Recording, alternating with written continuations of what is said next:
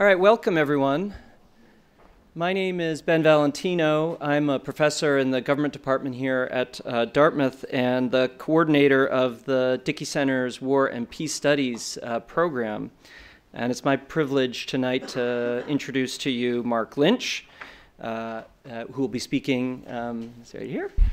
Uh, uh, in our uh, War and Peace Studies seminar series. This is, we tend to have one of these per term, so this is our first of this academic year.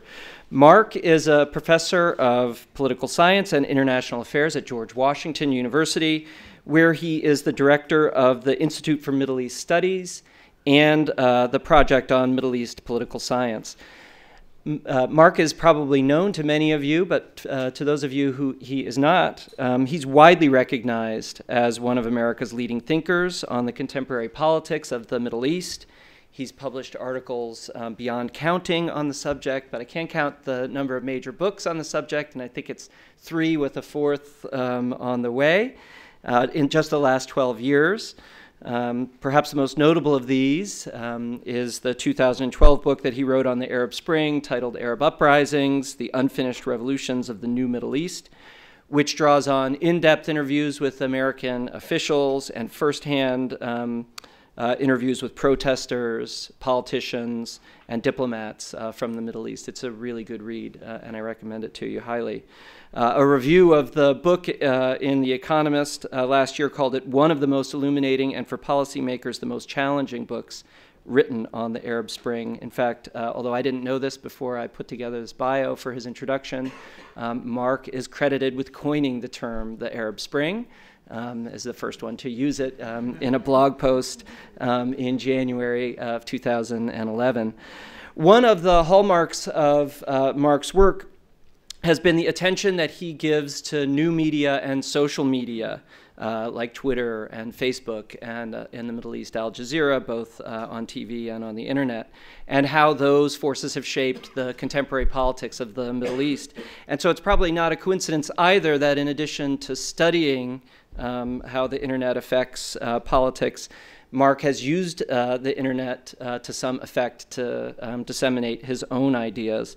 Over the last decade, um, Marc has been one of the most important voices um, in the United States um, uh, on uh, Middle Eastern politics, and his blog, which uh, began in all the way back in 2002, before uh, maybe even the word blog was widely used to describe these things um, has uh, been one of the most respected and widely used sources for journalists, um, uh, policymakers, and the general public for trying to understand um, the complicated politics of the Middle East. Uh, Marc is also the director, this I found out uh, while researching his bio, um, of the Blogs and Bullets project at the United States Institute of Peace, which sounds like an extremely interesting project designed to map out online discourse in places like um, Egypt uh, and Syria, where there are ongoing military conflicts, um, to understand how the public is uh, reacting and how those conflicts are evolving. So that's a long way of saying um, just how lucky we are to have uh, Professor Lynch with us today. He's going to talk about developments in the Arab world since the Arab Spring, uh, uh, the, those uprisings of 2010 and 2011.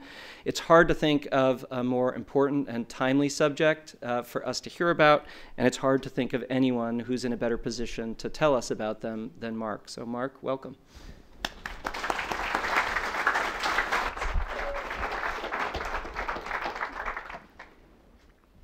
All right, thanks, Ben, and thanks um, to all of you for coming out. Um, it's great to have a chance to be here at Dartmouth and to talk about this, because um, I, I, think that um, this is awfully loud.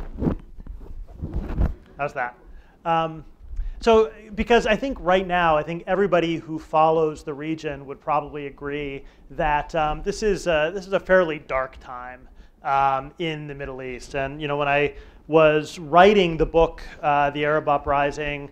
And uh, when I was going out and giving a lot of talks about the Arab uprising over the last year or two, Um, generally, this is a pretty optimistic and uh, you know kind of happy thing to be talking about. This was a story of liberation, of transformation, of change, of people throwing off the legacies of decades of the stultifying dead hand of Arab authoritarianism and giving themselves the chance uh, to, to build something new. And uh, then, you know, with the summer break, you know, don't give any talks because it's summer, um, come back to the fall. And at this point, it's kind of hard uh, for many people to either give or to receive an optimistic talk about what's happening in the Arab world right now.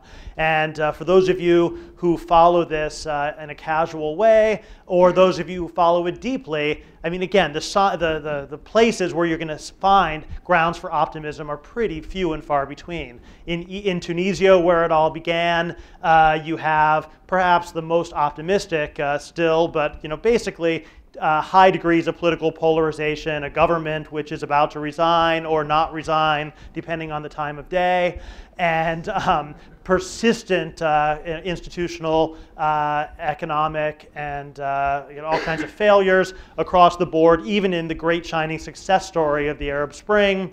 Um, in uh, Libya, the state, uh, which was, or the, what was sort of a state under Gaddafi, which was crushed, has not reconstituted itself. I was just reading on, uh, on my Twitter feed shortly before coming over here uh, a report that armed gunmen broke into the central bank and walked off with $55 million in hard currency. Um, whether that's better or worse than armed gunmen kidnapping the prime minister and holding him hostage, um, I'll leave it uh, to you to decide the relative merits. But um, Libya is not looking uh, like it's turning into a Weberian uh, nation state anytime soon. Egypt, which is really at the heart of everything that we focused on when we talked about the Arab Spring, um, was carrying on with its rickety uh, you know, really poorly done, uh, really horribly done uh, transition until the military decided to step in and have a military coup and then uh, crush uh, the counter protesters in a bloody show of force. Um, and in my opinion, I'll go into this in more detail in a few minutes, but I think really basically breaking Egyptian politics for the next two to five years and destroying any hopes of a meaningful democratic transition there. And then, and, and actually, the, the Maghreb is actually the positive side because in the Gulf, uh, there's been uh, basically, well, the Gulf isn't doing too well. And then you go up into the Levant, and it's downright apocalyptic with a stalled uh, peace process, uh, and Syria and the sectarian civil war in Syria basically dragging the entire region down more and more into the abyss. This is not a happy time for, uh, for people who study the Middle East, who live in the Middle East, who work on the Middle East, or hope for something better to come out of the Arab Spring. So that, that's, that's the, uh, the, the, kind of the negative context where we begin uh, talking about this today. That said, I'm not ready to go completely doom and gloom on this yet or declare that the Arab uprisings failed, whatever that might mean. Because when I think about the Arab uprising or what I un unfortunately uh, once called the Arab Spring, um, that, it was a blog post and I was basically saying it wasn't an Arab Spring, but Google is unforgiving. Um, so yes. Um, when, I, when I looked at this, and I think a way to look at this and to not give in to existential despair is to see what happened in this so-called Arab Spring of early 2011 as a unique and extraordinary moment in a process that was developing for decades. In other words, it didn't come out of nowhere and it hasn't ended.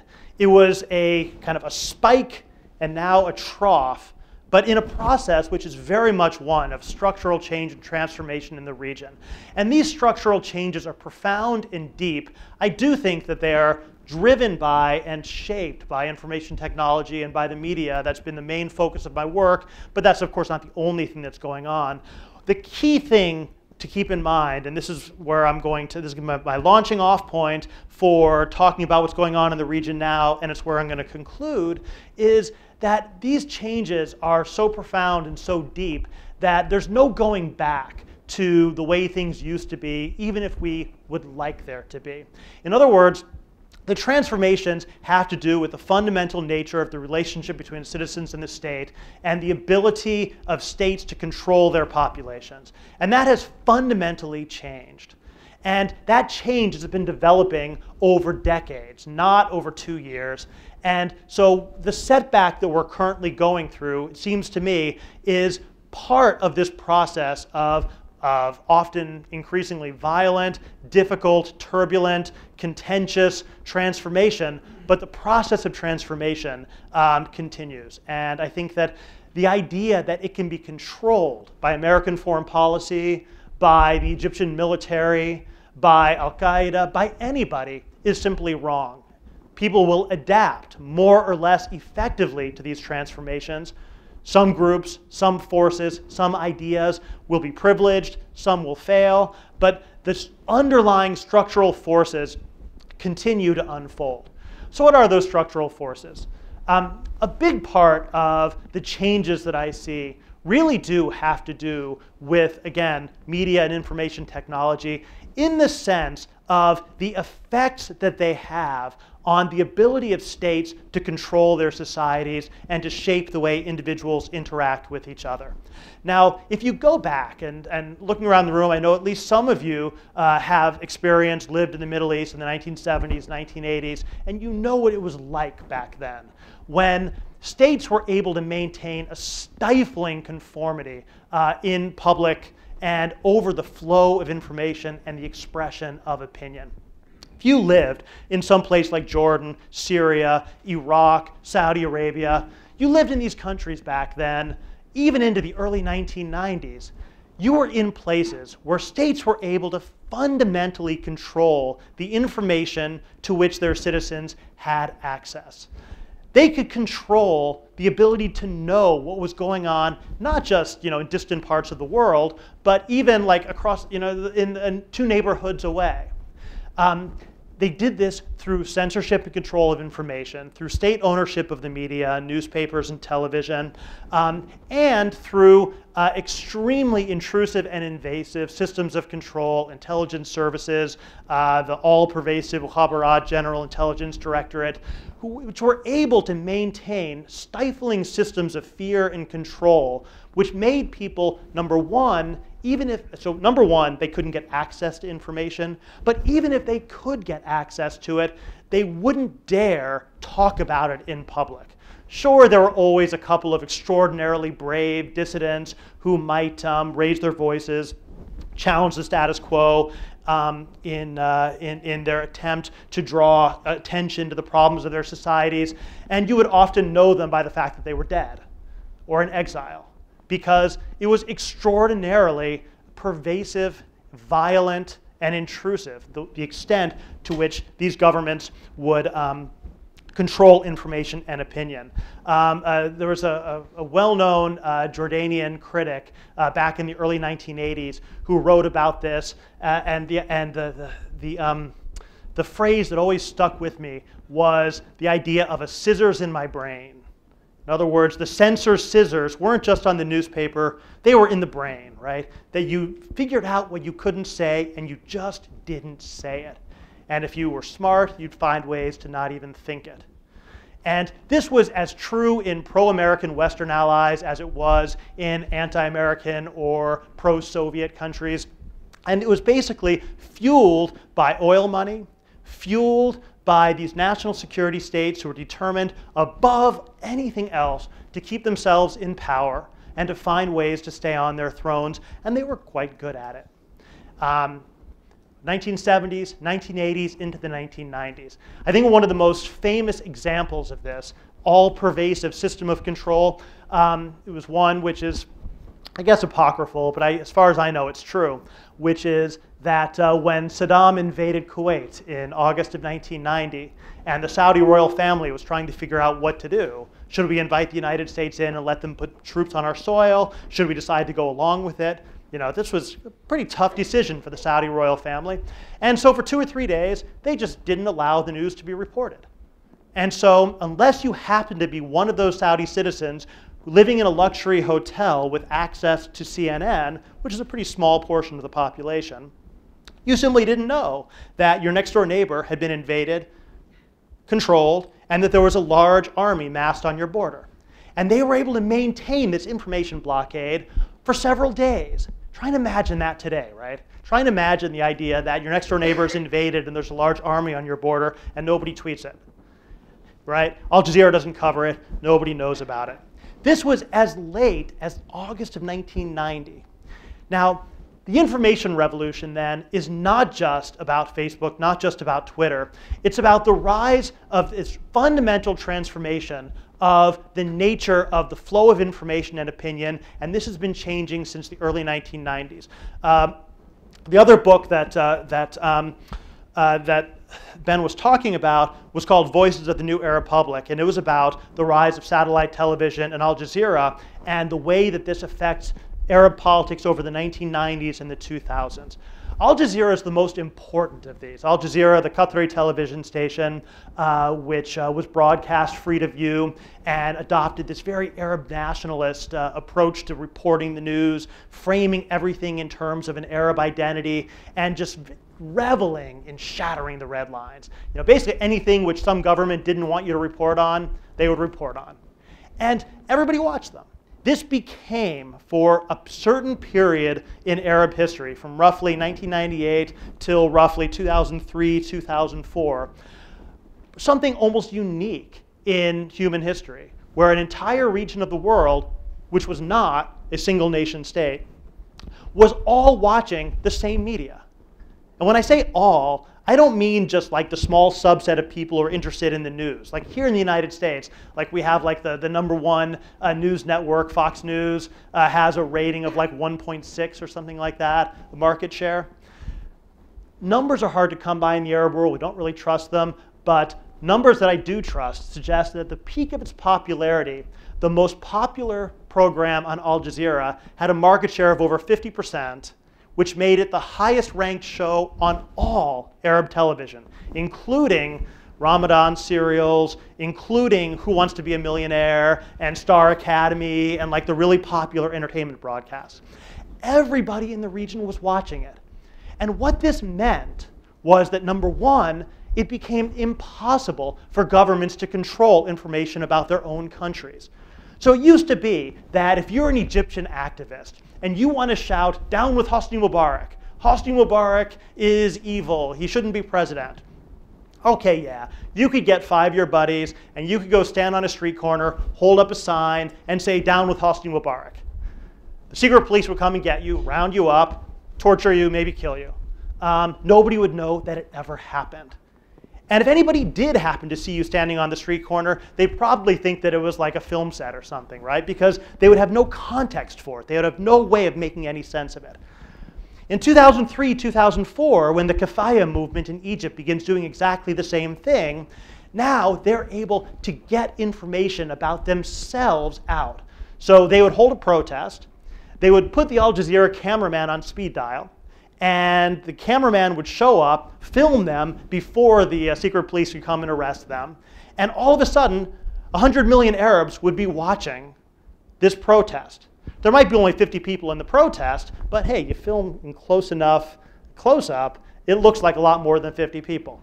And then you post all the pictures, you post the videos to your blogs, which everyone is reading, and it doesn't matter if the local newspapers don't cover you because people who want to know can find out. And this was part of not just Egypt, but the entire region. And the key thing that I want to emphasize here is that when the Kafaya movement does this, it's not just that Jordanians or Western analysts based in Washington can see what's going on, other Egyptians can see it as well. That's the crucial thing. No longer does it matter that uh, you're on this one neighborhood in Cairo and nobody else in Egypt knows what's going on. People in Alexandria, people on the other side of Cairo, they see it too. Now, the reason I'm going into so much depth on this is simply to say that this far predates the so called Arab Spring, right? This is a transformation that's happening in the late 90s into the early 2000s. A lot of people think the Arab Spring came out of nowhere and that you know all of a sudden this was like Eastern Europe. This is why I hate the Arab Spring concept. The notion that it came out of nowhere, like in East Germany, where there was no protest, and then suddenly the entire society is in the streets. That's not at all what it was like in most of the Arab world, especially Egypt. In Egypt, you had rolling protests building and spreading across Egyptian society for a decade. Over the course of that decade, it's hard to find a sector of Egyptian society that wasn't in the streets protesting. You had the Kafaya movement, which was made up of intellectuals and journalists and uh, young people and young bloggers. Um, you had lawyers, you had judges, you had teachers. The so called April 6th movement, some of you might have heard of, refers to a major industrial action in uh, Mahalla al Kubra, which is kind of a gritty, grimy industrial town. And they had a big strike. You have workers out there in the streets, not just intellectuals and poets and judges and lawyers. Um, Joel Beinin uh, from Stanford University and the American University of Cairo uh, has done probably the best job of anyone to try and document this. And he argues in his database, he has over a million different uh, strikes and industrial action in, uh, and, and, and, workplace uh, protests in Egypt um, in the decade before the Arab Spring. In other words, Egypt, over the course of the decade before January 25th, 2011, was a society in turmoil, in you know, rife with protest, all these different sectors of society, probably more than most other Arab countries, but still, Egypt is the, the, the, the market leader here, and uh, it matters. So you have the two things going on. You have this radical change in the information environment. Starts with Al Jazeera, but then it doesn't end with Al Jazeera. Once Al Jazeera launches, everybody else suddenly can't compete anymore, right? So at one point, Jordanian TV, which used to be just god god awful, um, you know, where you would just like have like half an hour running of the king shaking hands at the airport with the sound off. I mean, it was just unbelievable, right? Turns out that they did an internal survey in uh, late 19, it was like 1999, 2000, and they found out that their market share had plummeted to like less than 1%. I mean, literally, they were broadcasting nonsense and nobody was watching it. Well, if you're a state and you want to get your version of events out there, that's dangerous. Because if everybody's watching Al Jazeera and Al Jazeera, say, doesn't like your king, well, Al Jazeera is now going to set public expectations and beliefs about your king. So if you want to compete, you better change your own television station. Make it more watchable, make it more interesting. And you did. You saw over the course of the 2000s across the region private or state television stations becoming much more interesting and competitive, lots of satellite TV stations opening up, independent newspapers. In a place like Egypt, I mean, my God, you walk down the street and every kiosk of newspapers was filled with like uh, uh, headlines that were critical of Hosni Mubarak, complaining about this, that, or the other, describing protests. I mean, it was unescapable for people just like walking down the street. Independent newspapers, independent or state controlled TV stations that became more liberal and more open, and then the internet.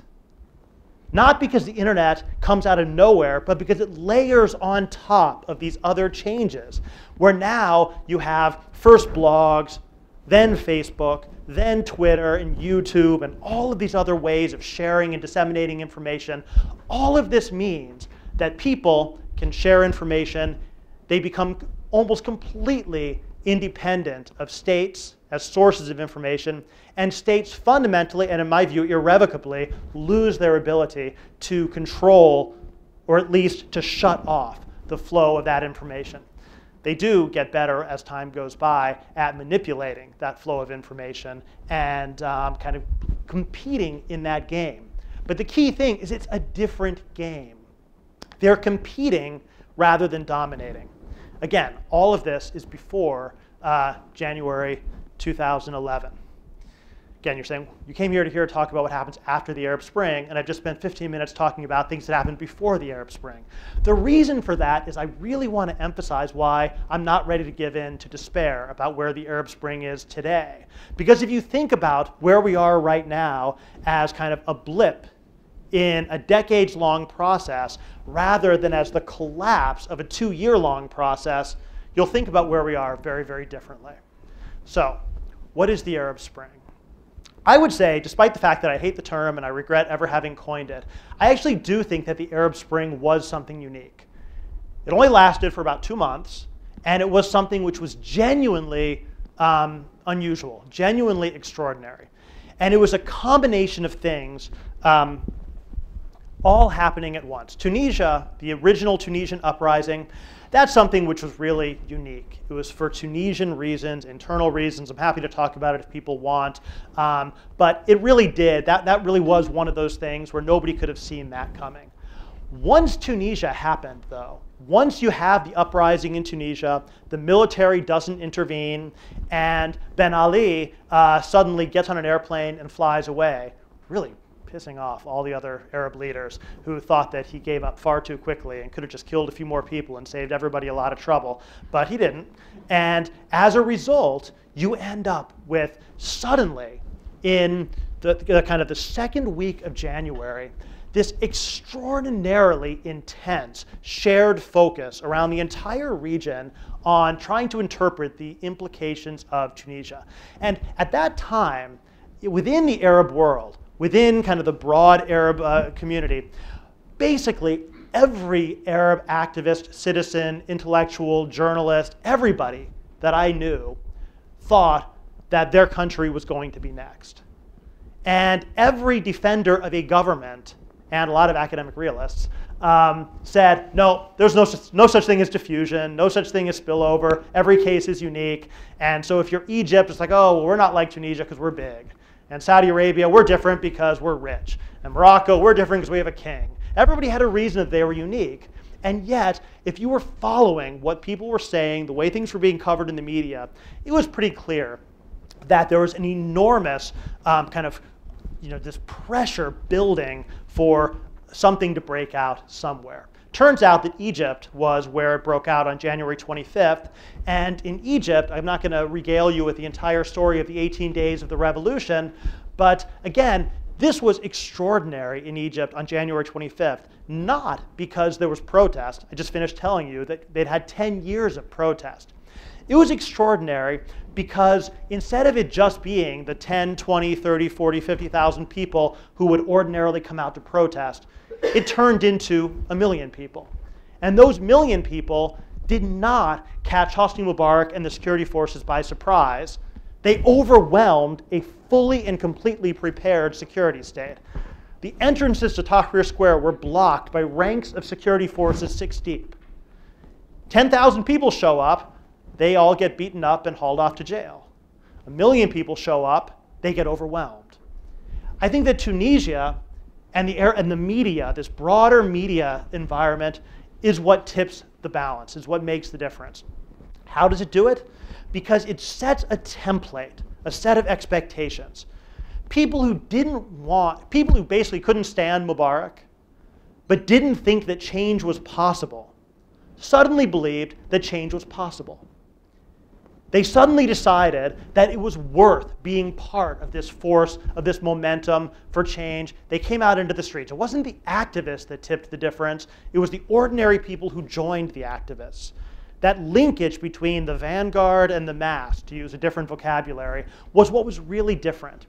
Now, during the revolution, the, and I do think that I'm, I'm happy to call what happened in January 25th the revolution, call it an uprising if you prefer or something else.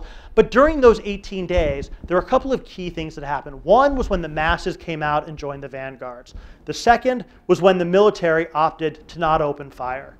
And believe me, they could have. I mean, they could have cleared Tahrir Square with tanks, helicopters, killed a few thousand people, and probably, um, you know, let's say things would have gone a bit differently. I don't know if they would have won, but it certainly would have made things a lot different. And they chose not to. Um, and once they chose not to, I think Mubarak's personal fate was sealed. Military had no love for Mubarak. The military had, the, what was the opposite of love? A lot of opposite of love for Mubarak's son, uh, Gamal. They were quite happy to see him go and to not succeed his father as president. A lot of things that are going on in those days that we can talk about. Um, but the key thing here is simply that over the course of those 18 days, um, you end up with this entire society coming out and Mubarak fading off into view without large scale bloodshed. It wasn't entirely peaceful. Thousands of people died. Most of the police stations in the country were burned to the ground. It was a tough, physical uprising. but you didn't get the kind of bloodbath that you get in other places. Now, when this happens in Egypt, I would say that you get this cognitive shift that takes place around the entire region. Tunisia told people everywhere in the region that change was possible, right? When Mubarak goes on virtually the exact same script, the people rise up, occupy a central place, the military doesn't interfere, um, the president gives three speeches and then disappears, everyone has a big party, and you've had a revolution, right? Basically, Tunisia and Egypt are functionally almost exactly the same. This tells people around the region that the same thing is inevitable every place else. And that is a powerful thing. Now it's not just that change is possible, it's that change is inevitable. What links this together is that media that I was talking about, framing everything as part of a common narrative and as a common struggle. And so you, when you have Yemenis who are watching news coverage from Tunisia and saying, hey, they're just like us, appropriating the same slogans, the same posters, and responding in real time to what they're seeing on the Al Jazeera camera, it's really quite extraordinary. There was this overpowering sense of a unified narrative, the inevitability of change, and this same script playing out everywhere. You know, and it is kind of like almost tear jerking now to remember it, but at the time, activists joked about Bashar al Assad, right? Bashar gave, gave his first speech where he basically, you know, this very uncompromising speech, and all the activists on Twitter were making fun of him, saying, oh, there's speech number one, only two more to go. Because the idea was that there was a script and it was going to play out. It's important to note that that script did not play out in any other case. Right? Everybody thought that it was going to play out everywhere. It didn't play out anyplace else in that way. In Yemen, you end up with the military splitting and you end up with this kind of protracted stalemate between the, between the competing forces. In Bahrain, you get the, uh, the uh, security forces going in with Saudi and GCC assistance and clearing Pearl Roundabout, bulldozing it to the ground, unleashing a really truly reprehensible wave of sectarian uh, repression. Um, in Saudi Arabia, they uh, to, uh, you know, they call for a day of rage, and like one extraordinarily brave, perhaps not too bright individual shows up and disappears into the dungeons, and Abdullah throws, you know, hundreds of millions of dollars out into the streets, basically, to buy people off. In Morocco, the young king actually makes a pretty savvy move, giving a speech which makes a lot of preemptive concessions and constitutional reforms most of which didn't actually amount to much, but at the time were enough to kind of divide the opposition, deflect pressures for change. In Libya, uh, the protests are called for February 17th. And Gaddafi doesn't even wait. Like the day before, he starts killing people. Um, and, start, and again, the point is that the script doesn't play out in the same way anyplace else. The Arab Spring, I think, goes from roughly early January 2011 till mid March of 2011, and it was defined by the unification of the Arab political space. This notion that all of the countries were linked together and that what matters or what happens in Yemen matters for Libya. What happens in Tunisia matters for Syria. People really believed it. They were behaving as if they believed it, and you could see it playing out in real time. It was generally nonviolent. You had tight connections between elites and masses, and there was this expectation of imminent change. I would say that the Arab Spring ends, um, as spring tends to do, in March, um, and it ends in a span of about 10 days when you get this essentially the counter revolution. Um, this is in a span of 10 days, all the bad stuff that I said before happened, right? You have Yemen turns to violence when the snipers open fire on students protesting at Sana'a University, and the army splits. The Bahrain, the, uh, the, the troops roll in and clear the roundabout. Um, you get uh, you know, some pretty nasty uh, head bashing in in Amman and Jordan. Um, you know, things are happening across the region all at the same time. NATO starts bombing Libya the exact same week. And the violence begins in Syria, in Daraa, in the exact same week. all of this happens in the span of about 10 days, and it shatters the sense of inevitability. It shatters the unification of Arab political space, and it leads us into a very different direction. So Arab Spring lasted for about two months. It was great while it happened. And um, we've been living in a post Arab Spring, to get back to the topic of the talk. Um, we've been living in the period after the Arab Spring now for uh, well over two years. What characterizes this new period? I would say that again, I don't, we don't, I don't have time, although I'm happy to go into details in the discussion part of this.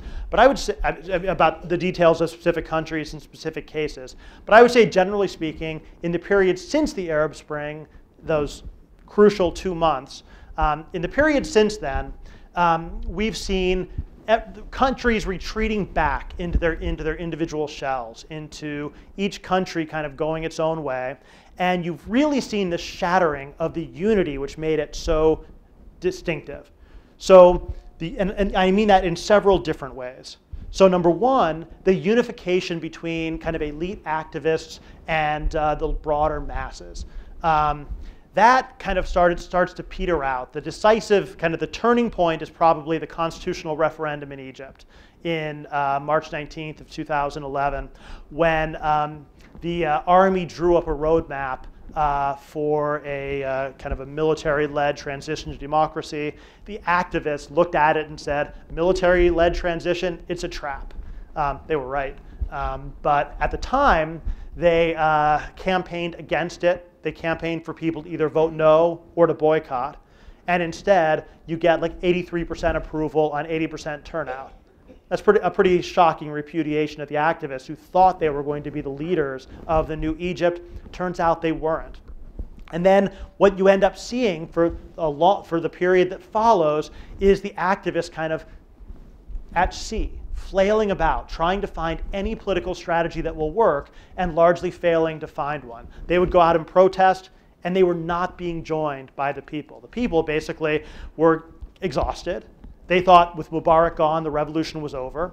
And uh, you saw this disconnect grow between the, this, these kind of vanguard activists and ordinary people. You also saw really uh, increasingly troubling polarization setting in in almost every country between Islamists and non-Islamists, between Sunnis and Shia, between urban and rural. Basically, all of those divides that had been erased during that feverish moment of the Arab Spring reasserted themselves and became worse. Um, often they became worse because of the transitions themselves, right? This creates uncertainty. People are worried about their futures. If you're, if you're a non Islamist in Egypt, yeah, you've been living with the Muslim Brotherhood for years, for decades, for you know, nearly a century, but you were never in a position before where the Muslim Brotherhood might actually be able to write the Constitution and create the rules that you have to live by. If, you, if you're a Sunni in Bahrain, um, sure, you've always suspected that your Shia neighbors were actual Iranian fifth columnists, but hey, you had a Sunni king. You didn't need to worry about it because you had a Sunni king to protect you. Suddenly, you're not so sure about that anymore. So part of it is uncertainty. Part of it is conscious manipulation uh, strategies. And here's where the, the, the, Blogs and Bullets project that I'm involved with um, has really been uh, quite depressingly illuminating as we've been able to track this. And part of it, you don't need any specialized information. You just have to watch TV and watch you know, the, the kind of official rhetoric that's out there in the Arab media. There's just been profound um, kind of uh, uh sectarian and uh, political polarization, mobilization going on in the media. Just unbelievable levels of propaganda, scare campaigns, demonization. Um, I think that social media contributes to this because it turns out that in the Arab world, one of the iron laws of online kind of social media environments in general is really vividly uh, on display. And that's uh, the tendency of people in social media environments to self-select into uh, bubbles informational bubbles where basically you, you, you associate with people just like you and then you become more and more distant from and hostile to people who are not like you.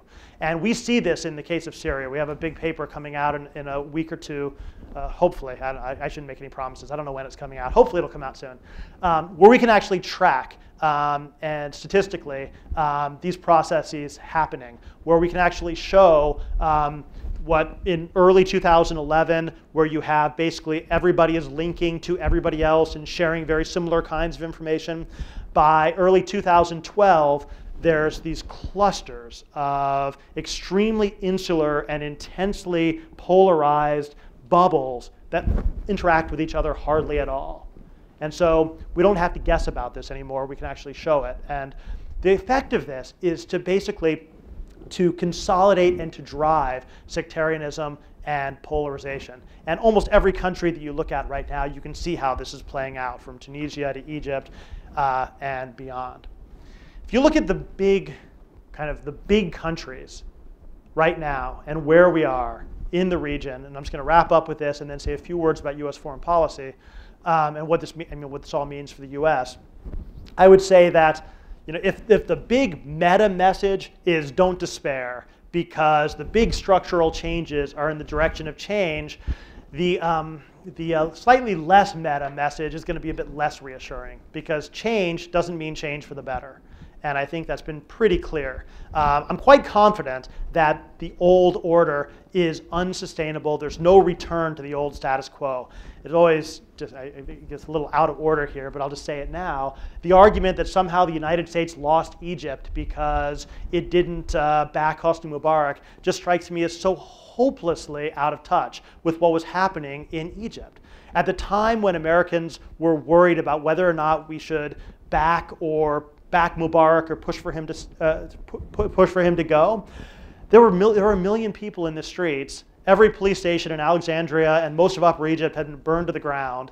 And trust me, nobody was waiting to see what Barack Obama was going to say about whether Mubarak should stay or go. That's not the issue, right? And the forces that drove Mubarak out remain. And that's why when I look at a place like Egypt, I think that what drove Hosni Mubarak from power is in many ways the same thing which ultimately drove Mohammed al-Morsi from power and is likely a year from now to drive uh, Abdel Fattah al-Sisi from power. The fundamental failures of the Egyptian state, the absence of any political consensus, grinding unemployment, empty and hollow state institutions, crumbling infrastructure, and um, and the inability of any leadership to do anything about that, combined with the mobilizing power of a mobilized population. I wouldn't be, uh, th this is not the time for you to be buying, uh, I, I wouldn't be, uh, what, what, what is it called when you, uh, is it buy low or whatever? This isn't the time to invest in Egypt. And there's a reason why nobody is, because there's not going to be a return to stability there. I'm very pessimistic about, about Egypt. I think that uh, the military coup in Egypt essentially broke Egyptian politics and uh, it's not going to be fixed for quite some time. Um, I think that when you have a military coup like that, it, there's no easy going back. It's going to take time. And so what we're going to get over the next year, you can you know, write this down, and you know, this is what's going to happen, I guarantee it. Um, you're going to see some kind of return to democracy, a roadmap to democracy. There'll be a constitution passed, there'll be elections, everyone will pretend that they matter, but they won't because they're not going to restore any kind of political consensus. They're not going to fix the underlying problems that Egypt faces. So there's going to be a democratic charade in Egypt for a while, but it's not going to be anything real. I think that instead, Egypt is going to have ongoing perpetual turbulence. And, and I think that that's what we're going to see across much of the region. So Egypt is depressing. Egypt is bad. But Syria is the worst.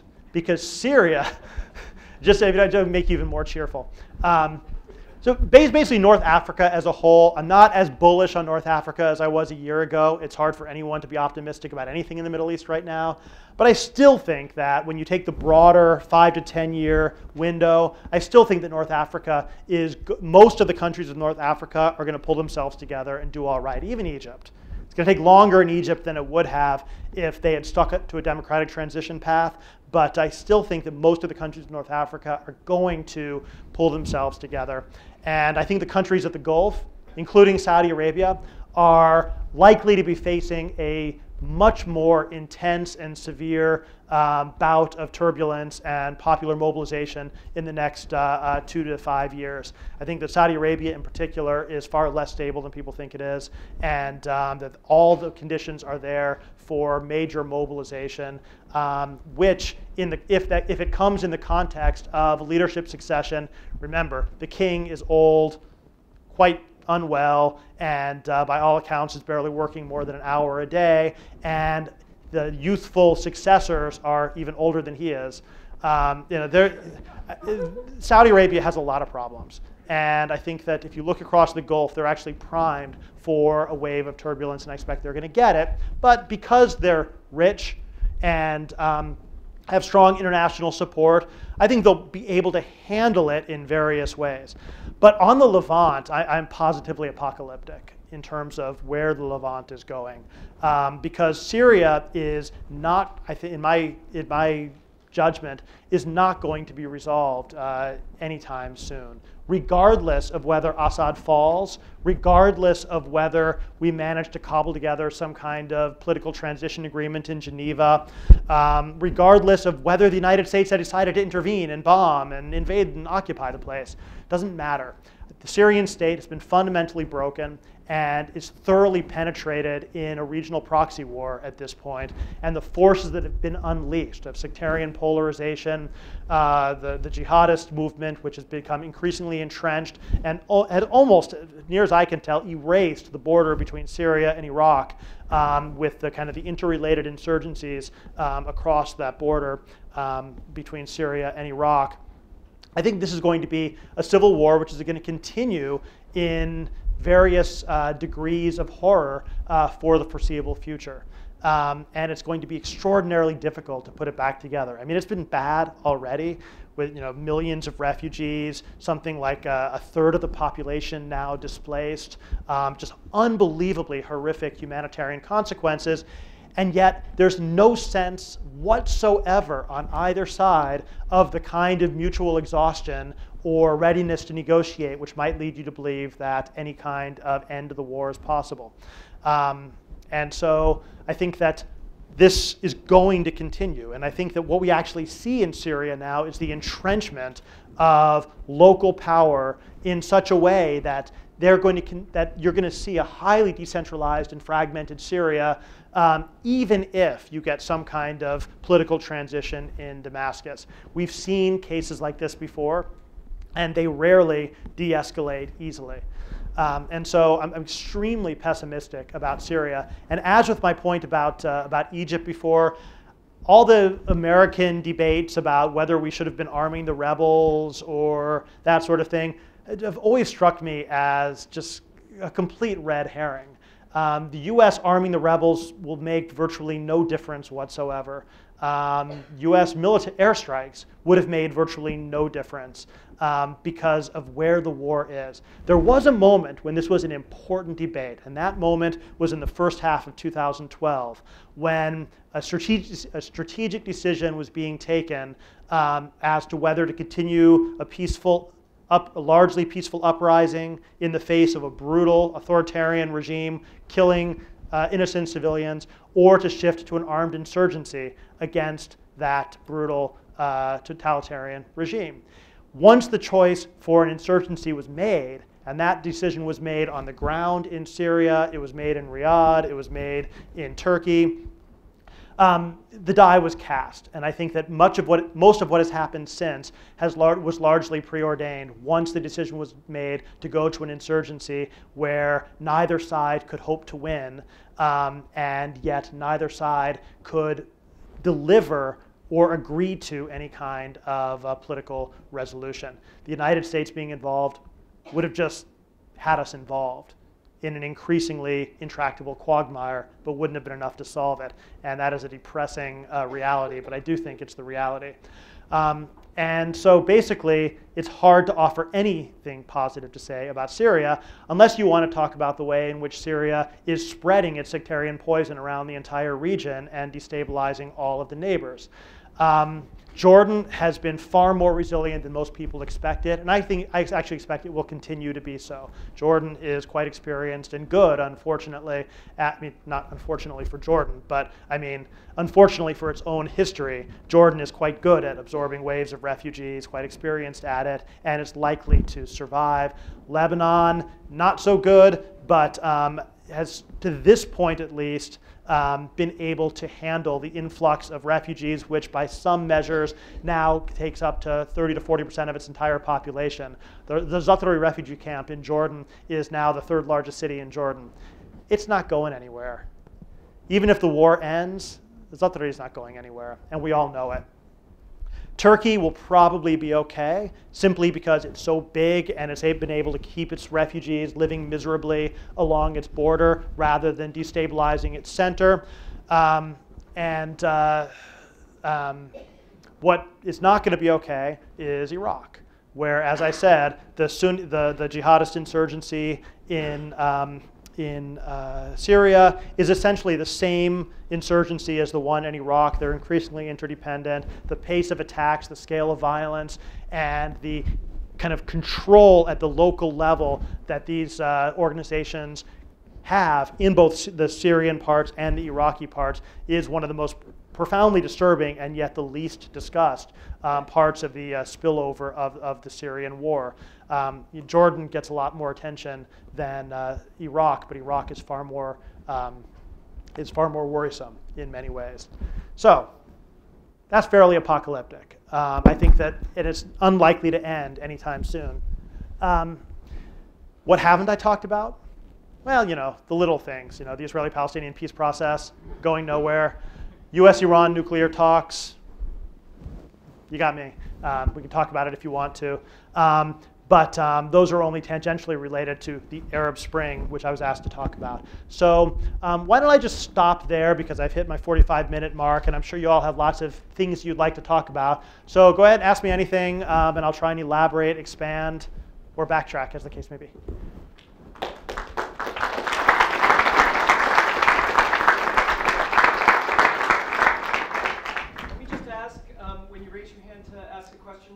try to use your loudest indoor voice. We're recording and we don't have a microphone to hand around. And uh, Marc, if uh, someone doesn't have a very loud indoor voice, maybe uh, you can repeat the question. You can use your playground voice. okay, so I know um, a lot of the other Middle Eastern countries, a lot of the leaders like Erdogan were blaming foreign influences as starting um, a lot of the protests and reforms in the nation, do you think that foreign influences played a role in Egypt in any way, or was it just strictly an internal uprising? I think it was 99% internal uh, in Egypt and in most places. But I mean, we live in a globalized world, right? And so people can draw inspiration and lessons from elsewhere. So, so it is true, for example, that a number of important Egyptian activists went off to Serbia and got training from Serbian activists. And it's true. But so what? Who cares? Because those you know, seven guys who went and did an NDI training in Serbia um, had very little to do with the sudden eruption of millions of people coming out into the streets. And so I think that generally the discourse of, of you know, kind of foreign causes is, um, or, or, or, foreign instigators is more of like a regime survival strategy than anything else, trying to delegitimize uh, internal protest as part of a foreign conspiracy. I think it's just part of the toolkit of how you how you deal how you approach this.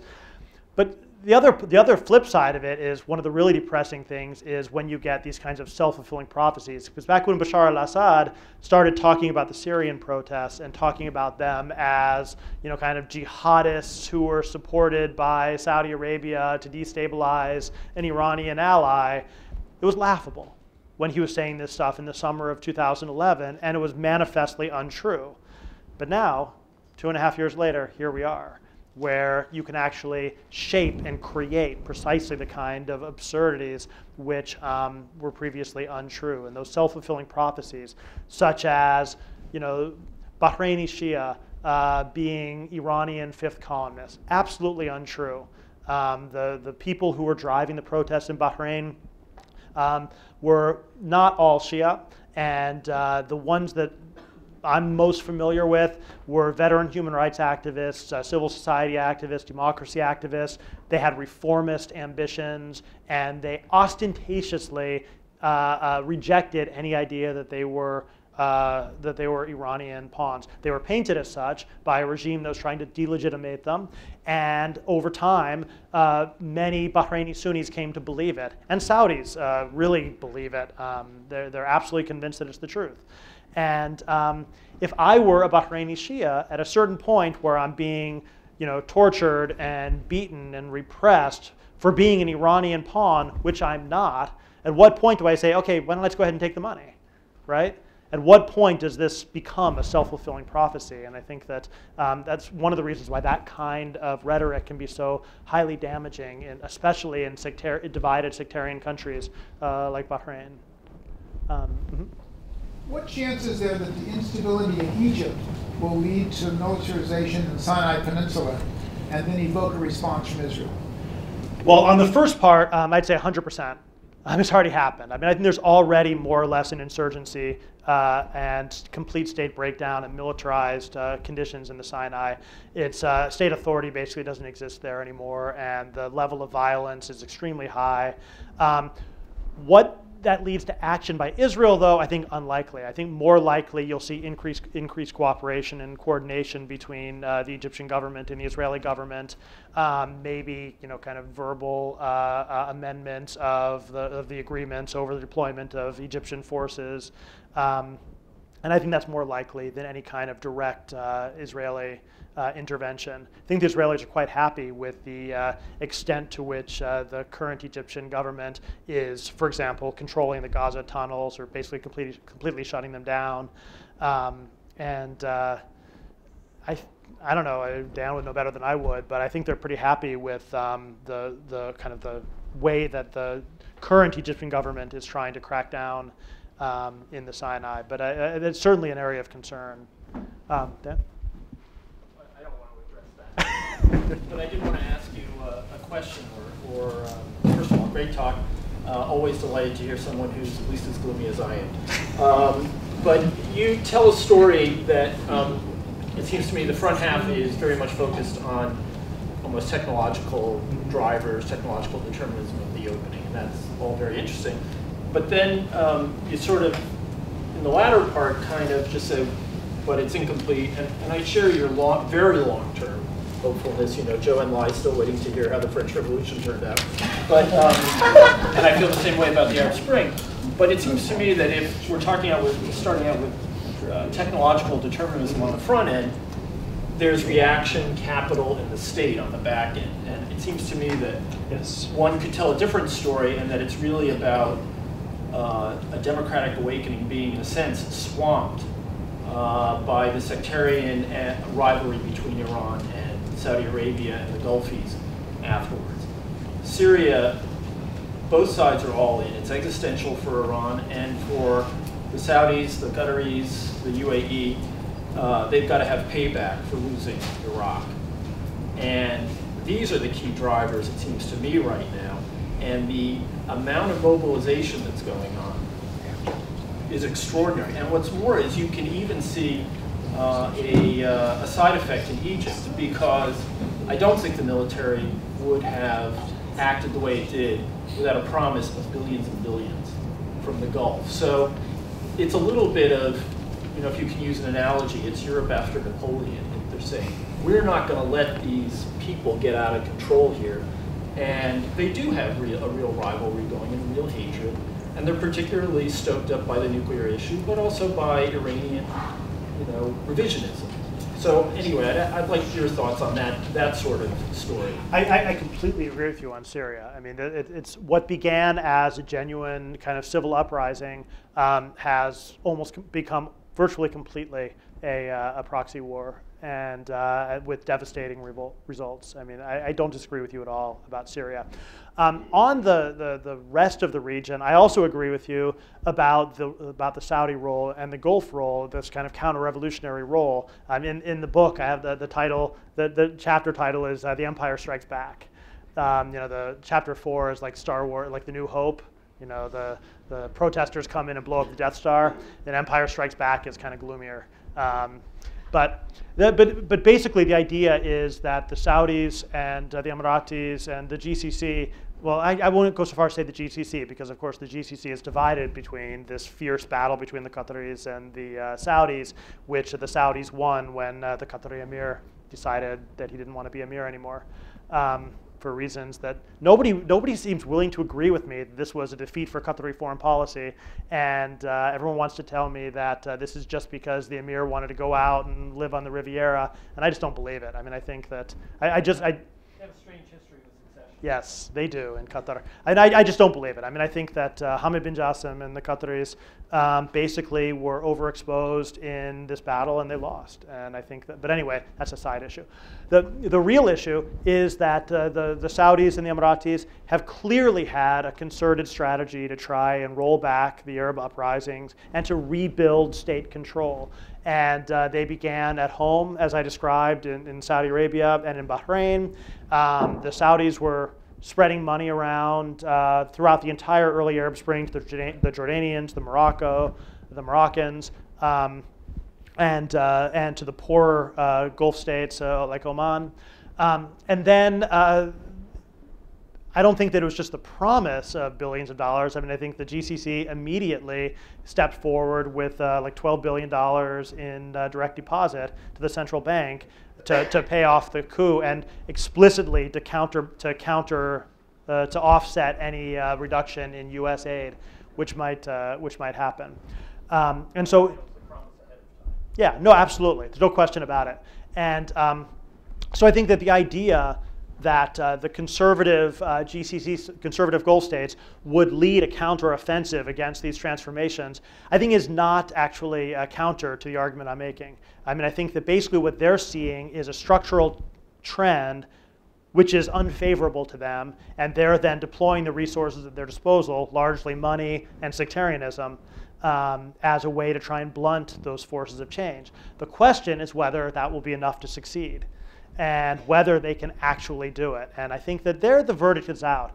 I would say that technological determinism isn't exactly how I would describe my argument because I do think that the the technology and the structural change, I think, is a real structural change which has a whole set of systemic effects.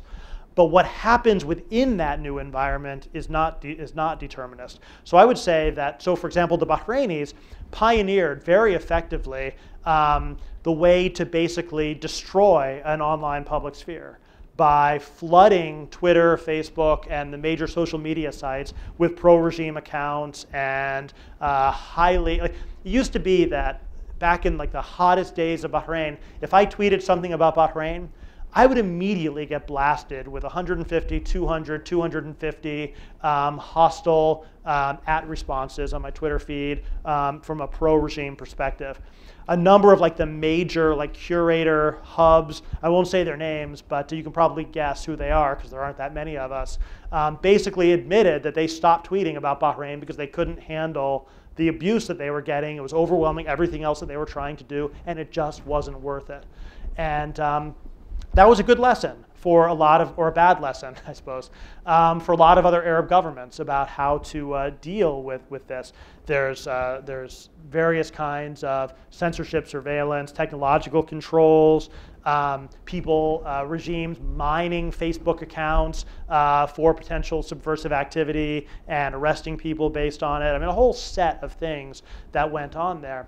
Um, I would say that in some ways, the most depressing thing that I've seen in Egypt was not even the coup, not even the, um, the bloody clearing of the square, as horrible as those things were, but rather the way that uh, kind of the Egyptian public seems to have gone collectively insane um, in their embrace of the coup and uh, just their embrace of crazy conspiracy theories. I mean, the, so I don't know how many of you are on the on the receiving end of any of this, but uh, the day after the coup, I and I think every other analyst in Washington got something like a thousand emails, all strikingly similar, um, explaining how this was not a coup, but it was actually the continuation of a popular revolution, and just these fierce battles over the definition of it.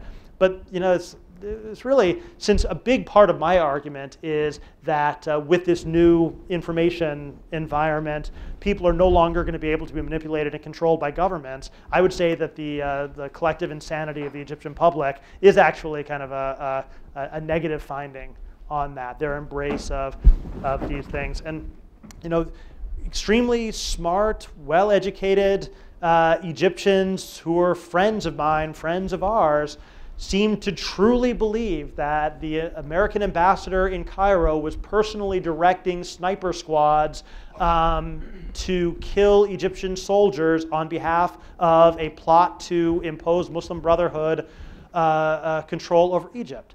They seem to really believe this. And that is kind of a blow against my notion of this collective, you know, kind of emancipation, emancipatory power of, um, of information technology.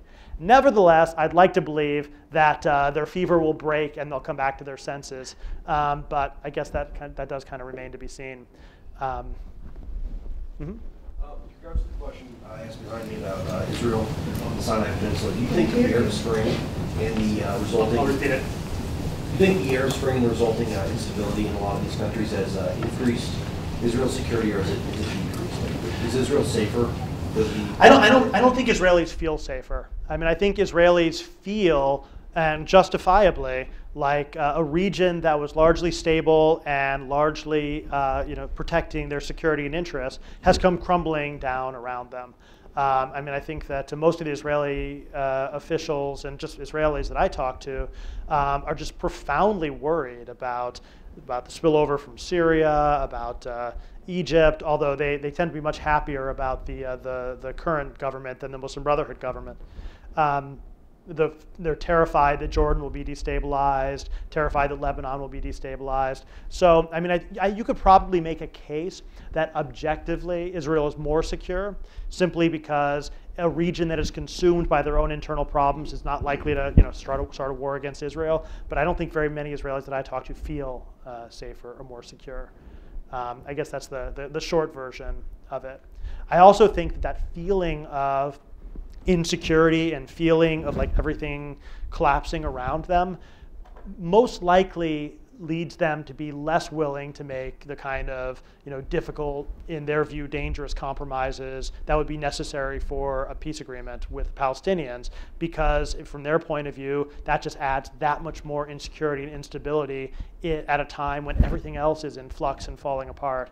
So the overall you know the, the sense that I get from the Israeli political class is one of look we've got these walls we're going to hunker down behind them and wait for this to pass and at exactly the time when you have uh, you know, the John Kerry out there trying to push towards uh, uh, uh, an agreement for, towards a two-state solution, which is an admirable thing for him to be doing.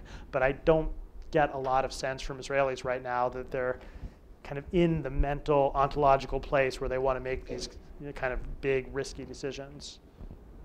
Mm -hmm. Another depressing topic you said you would speak about was U.S. foreign policy in the Middle East. Where should, where should we go?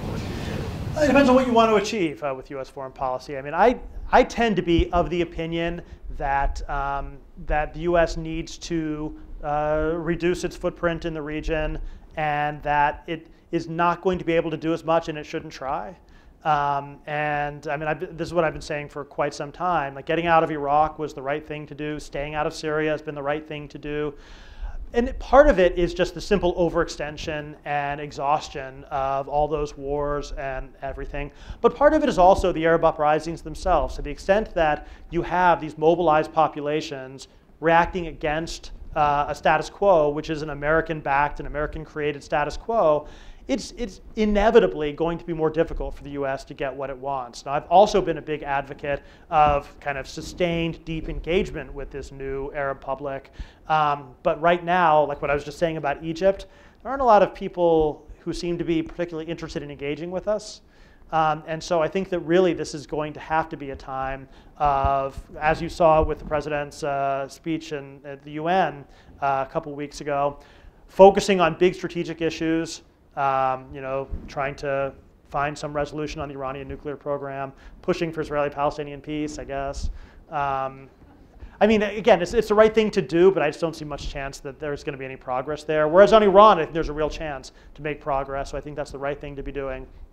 Um, counterterrorism, but even like I've been a huge supporter of democracy promotion for many, many years. But right now, there's just very little the U.S. can actually do to positively influence uh, you know, the spread of democracy or consolidation of democracy uh, around the region. And so I guess where what I think is the right thing to do is much more of a lower footprint, uh, less active involvement, and really kind of convincing the whole region, which really doesn't quite believe this, um, that uh, that's what we're actually doing. I think the Syria debate has been extremely instructive, for better or for worse. Um, I think that um, I, I, was describing this to a few other people before before this began, but you know I think that if you go back to like the spring of 2012, pretty much everybody in the region and everybody in Washington assumed that we were going to intervene in Syria eventually, that Obama might resist for a while, but he'd be dragged into it, because that's what the United States does. And the fact that he has not allowed himself to be drawn into Syria is actually almost revolutionary in, in its own way.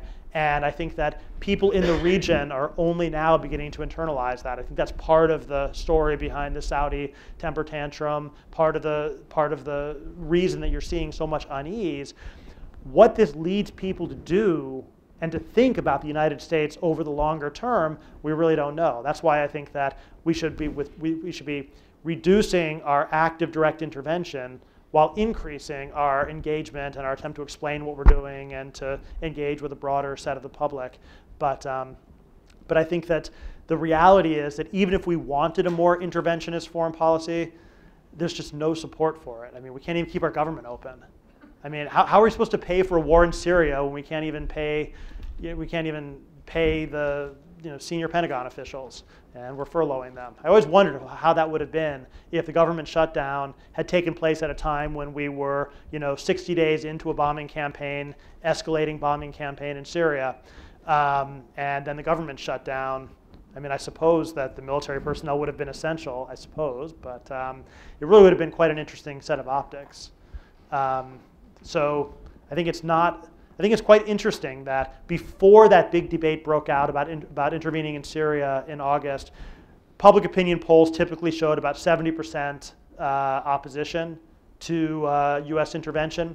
By the time the debate was done and the government and the administration had done its hard sell on, uh, on, on why we needed to do it, um, at least in some polls, it was now 80% opposed. Because basically, people don't want to do it. And I think that in a democracy, it's extremely difficult to maintain kind of an interventionist policy when you don't have public support for it, or at least it should be. Mm-hmm. So you just mentioned the Saudi temper tantrum, and over the past year, relations between the U.S. and Saudi Arabia have gotten a lot worse because we don't like what they did with Egypt, they don't like what we're doing in Syria, and now we're the world's largest oil producer, so we've become, in a sense, less strategically dependent on them.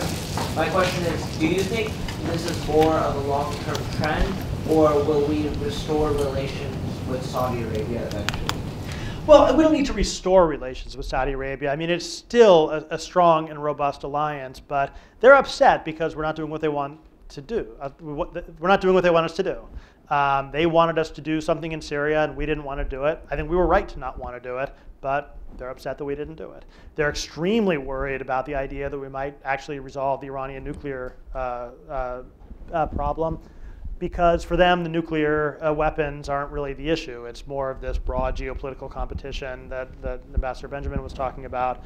Um, I think they're very worried that we're going to cut a deal with Iran at their expense. Um, they were horrified by the notion that we actually meant what we said about democracy, and they don't want to hear any more about that. Um, I mean, no, but seriously, I mean, the, the Saudis are extreme. I, I think that much of the leadership of the Gulf and, and, and in Israel also was kind of hardwired to the kind of policy that the Bush administration had. Not the invasion of Iraq. I think everyone was kind of um, uncertain about that or opposed to it. But I think the general notion of organizing the region around an alliance of so called moderates against Iran and its proxies was quite sympathetic, quite compatible to most of the leaders of the Gulf and in Israel. And that was And so they find it now very destabilizing and, uh, and mystifying that we don't seem to want to do that. And they can't quite make sense of it, creates uncertainty, creates the kinds of tensions that you're seeing. Um, but at the same time, they have no place else to go. And I think that after the tantrum, um, which was, to keep in mind, was by uh, Bandar bin Sultan, not by the Saudis, but done by one faction of the Saudi royal family, which has always been, you know, Bandar has always been more interventionist and, and more hawkish on these things. Um, and so, you know, a very public tantrum directed to journalists so that we got the message. Um, so after the tantrum, you get the walk back where they realize, you know what, they actually, I mean, where are they going to go? Russia? You know, Russia has nothing to offer them politically, militarily, economically, culturally. China, China wants nothing to do with uh, security providing role in the Gulf. They should. I don't understand why there isn't a Chinese naval presence in the Gulf. Um, it seems like there should be one, um, given what they are. But uh, basically, I think that uh, Professor Wohlforth is right. We're still in a unipolar situation, and they have no place else to go. And I think they're realizing that. So they're going to complain. They're going to be uncertain. Get some of that. What, what did you call? Or uh, what did they used to call it? The leash leash slipping. Uh, uh, there, there's some leash slipping, and they'll mouth off and do some things we don't like. But fundamentally, the structure as it is now, they have no place else to go. Um, and so, in a sense, I think that you know the, what the U.S. needs to do with Saudi Arabia is basically to, you know, give them a big old warm hug and tell them how much we love them, but not change a single thing that we're doing and basically have them accommodate to our preferences rather than us accommodating their preferences. I mean, that's basically how I would, what I would recommend there. Um, is it going to be a really good relationship? Um, well, I mean, depends what we mean by good, right? I mean, it's a strategic relationship based on our protecting the flow of oil. But I mean, come on, this is a country where right now there's the, this mobilized Arab public in Saudi Arabia means women bravely fighting for the right to drive. I mean, come on, this is one of the most uh, human rights abusing, uh, uh, uh gender abusing, um, you know, kind of this is not a good society from an American values point of view. And I think that's one of the real problems there is that the only thing which keeps this alliance together is the strategic. And if the strategic changes, well, there's nothing else to hold it together. And I think that there's some recognition of that. Mm -hmm. um, so we've heard from the past two years, or what you would define as perhaps the post-Arab Spring world, a lot about this growing sort of polarization between Shiites and Sunni in terms of sectarian lines. So you have Hezbollah fighting fellow mm-hmm. Arabs in Syria. You have this sort of Iran, uh, Saudi Arabia interplay between Shia and Sunni. so what is the role of this greater sort of sectarian conflict that we're starting to see between Sunnis on one side and Shia on the other, in terms of terrorist groups on both sides, as well as like legitimate state actors on both sides well. The really sad thing is that um, I don't think that this sectarianism was anything which is necessary, hardwired. This is not like the reemergence of ancient hatreds, the sort of thing that you hear. I think that a lot of the sectarianism that you see now is actively constructed by regimes as part of their survival strategies, specifically the Saudis. Um, and I think it's done um, in order to, you know, it's manipulated as a way to uh, win this, to win the support of your of your Sunni citizens and to uh, delegitimize the political demands of your Shia citizens. It was inflamed by Iraq in the 2000s. I mean, the images on Al Jazeera and on YouTube and just the reality of sectarian bloodbaths and cleansing, as they call it, but basically meaning the mass displacement, murder, and rape of people on the basis of the sectarian identity, doesn't go away quickly. And I think that generated some real, that it really took hold there. Same thing in Syria, where the reality of people being butchered uh, for their sectarian identity forces people in that direction. And so I guess the point that, I, that I'm trying to make is that this wasn't like the revealing of pre-existing sectarian hatreds. It was the constructing of those sectarian hatreds through state strategies and the realities of civil war and of course, civil wars that are being played out in this unified uh, media landscape. So everyone is exposed to it. I mean, you go to Tunisia, you go to Egypt, and people are watching. They'll show you the videos Uh, they'll show you, you know, they'll pull out their phones and show you the YouTube videos of sectarian atrocities. I mean, I found out about the execution of Saddam in Cairo. Uh, I was in Cairo at the time, and people were pulling out their cell phones and showing me YouTube videos, uh, the, you know, the Muqtada, Muqtada assassination. And, um, you know, so people feel it and they feel it and then it be then it becomes entrenched in their own identities. And so it becomes something real even though it previously wasn't real. But at a certain point it's very hard to go back. You know it's much easier to ratchet these things up than it is to ratchet them down. And you know i you know so remember all this talk about um, about uh, in Iraq back in the late 2000s, all this talk about reconciliation, we need to find ways to get Sunni Shia reconciliation. I always thought it was ridiculous. Um, you could push for accommodation. In other words, some kind of governmental structure which would accommodate the basic interests of the Sunni community. But there's not going to be reconciliation. You know, when your family has been butchered and driven into exile on the basis of your religious identity, you're not going to forget or forgive that. It, it just doesn't work that way. I think that Iraq is going to be divided by sectarian hatred and animosity for, gen- for a generation, and so is Syria. And if Egypt continues on its current trajectory, um, so is Egypt. Not between Sunni and Shia, but between Islamist and non Islamist, Christian and Muslim. I mean, that's the direction that they're going because it's one thing to say that these are artificial identities, they're constructed, but I don't think that you can deconstruct as easily as you can construct. And that's why this is so troubling, what's happening right now, because you might not be able to get back, climb back down. Mm-hmm given the recent developments in U.S.-Iran relations, do you think that Saudi Arabia, you know, could succeed in amassing uh, large-scale support uh, using sectarianism, even among, you know, Sunnis that were ambivalent or even critical of the Saudi regime, that it could, you know, come out in the future? You, you know, you spoke of the future turbulence. It could come out in the future using the sectarianism to avoid turbulence and maybe even gain a bigger sphere of influence? I think it has diminishing returns. I mean, sectarianism is useful for some things and not useful for others. So you can get everyone together, united by their uh, mistrust of Iran and the Shia, but that doesn't resolve your internal conflicts between, uh, you know, tribal differences or between, uh, uh you know, Salafis versus uh, Muslim Brothers versus secularists. In other words, you're still going to have all these divisions and competitions within the Sunni world. Um, and in some ways, it almost makes it even more intense. Once you've defined it as, the, as like the Sunni world, well, okay, that then raises the stakes for the different people who might plausibly compete for the leadership of that world. Same thing that you saw in Pan-Arabism back in the 1950s. If you read, like, you know, so Nasser wants to be the leader, but the Baathists and lots of others want to be the leaders. And so they're fighting for that same, that same uh, uh, political space. Um, the Saudis have some advantages and they have some disadvantages in all of this. Um, mostly their advantages are their money and uh, their control of the, of the Hajj and, uh, and the holy sites.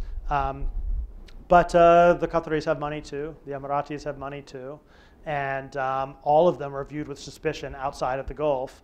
And so, you know, if you look at what happened with Qatar in uh, the last, say, five years, what you get is a rapid diplomatic ascent followed by an absolute crash of their diplomacy. I actually think the Saudis are probably on the same trajectory.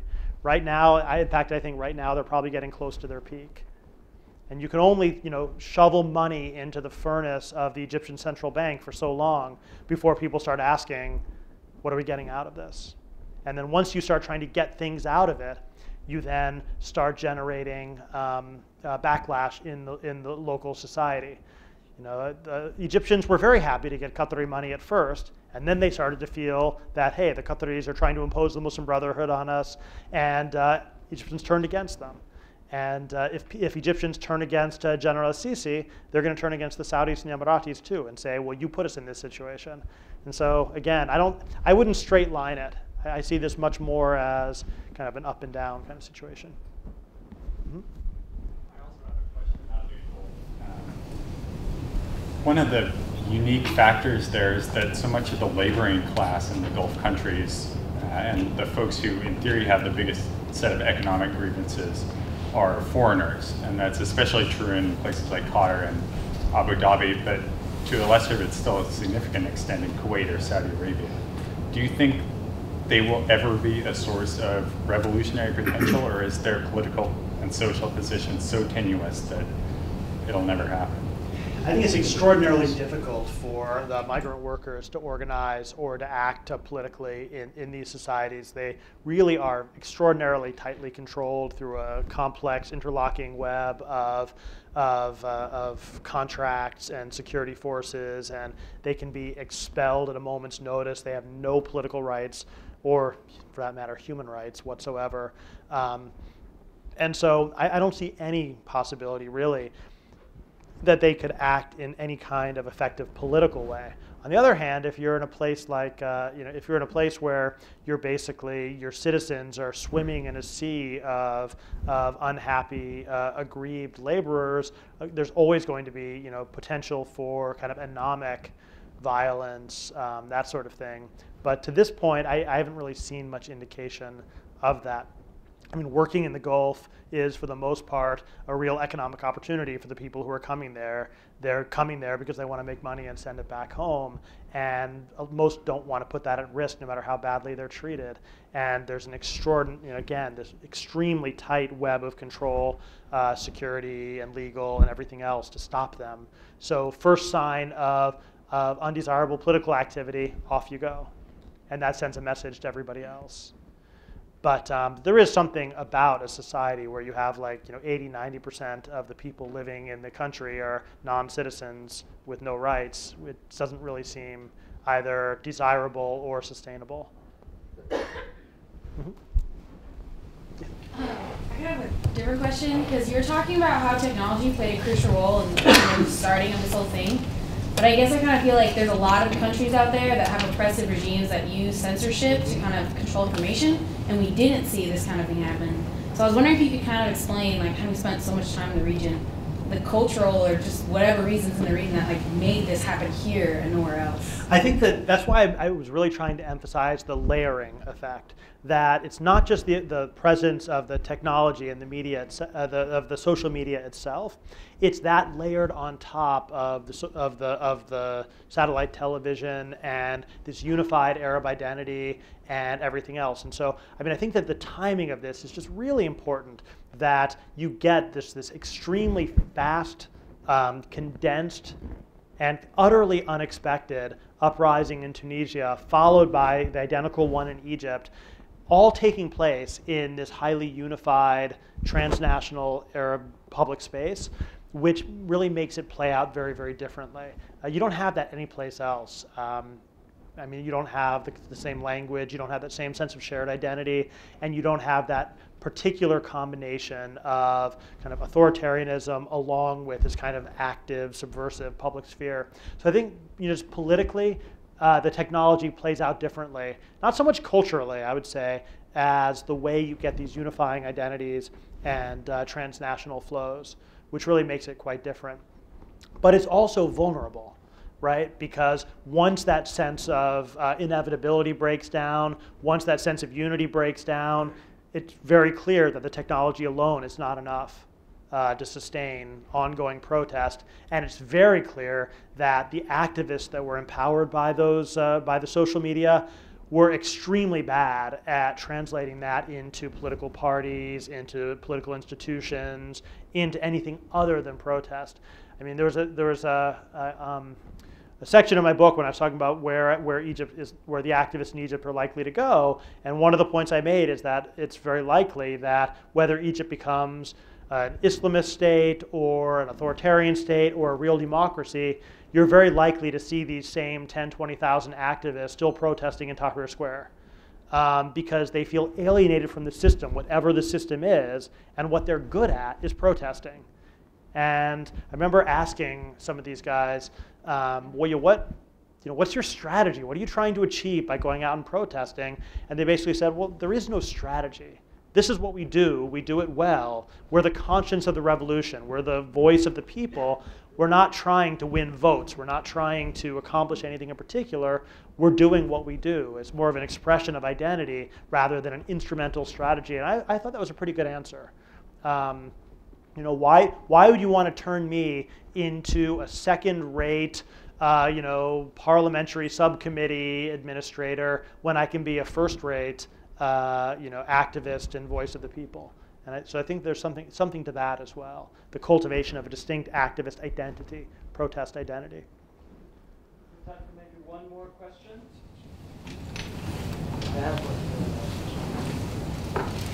Marc, maybe I'll ask it if there's if there's no. Dan, do you want? But only if you'll ask yours after. Oh, I'll ask him later at dinner. What do you rate the chances of uh, civil war in Egypt? Depends what you mean by civil war. Um, I think that um, what he said. What are the chances of civil war in Egypt? Um, I don't see it as likely as like a civil war, like a Syria-style civil war. Um, but I think like the emergence of a protracted low-level insurgency along the 1990s level as not unlikely at all, probably above 50% at this point. Sorry. Right.